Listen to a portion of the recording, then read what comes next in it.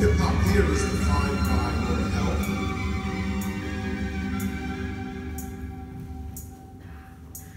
your ability to give and receive love,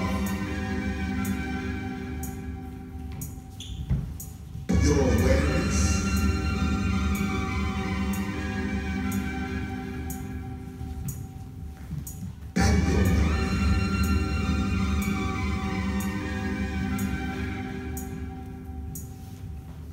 Hip hop is not over there somewhere, external of self.